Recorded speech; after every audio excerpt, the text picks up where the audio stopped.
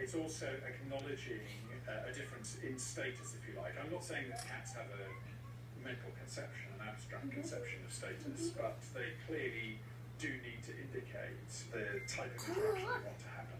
So what they're saying is, I'm friendly towards you, and I acknowledge that you are in some way bigger or smarter than, than I am.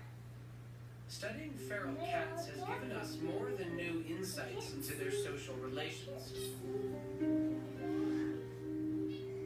Comparing DNA from various species of cats, wild, feral and domestic, large and small, from all over the world, helps solve the mystery of how cats evolved and eventually became domesticated.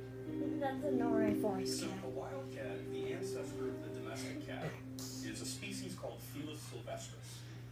Felis sylvestris is a very broad ranging species that Look at ranges all the way from the tip of Scotland down to the Cape of Good Hope in South Africa, all the way from Portugal out to the center of China. And there are five different wild subspecies of Felis sylvestris. He's so confused.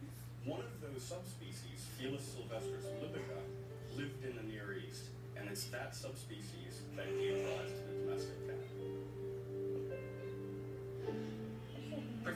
Driscoll pinpointed this part of the Mideast as the center where Felis sylvestris libica gradually transformed into the familiar kitty, Felis catus. Domestic cats of every breed, friendly or feral, wherever in the world you find them, have their genesis here. Their wildcat ancestors can still be spotted outside the cities.